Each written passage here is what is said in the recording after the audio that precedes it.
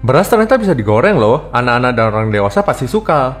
Pertama-tama, naikkan suhu minyak menjadi 50%. Coba dengan memasukkan sedikit beras, akan mekar seketika seperti ini. Masukkan nasi dikit demi sedikit, aduk terus hingga semuanya mengembang. Goreng sebanyak yang Anda inginkan, lalu tiriskan.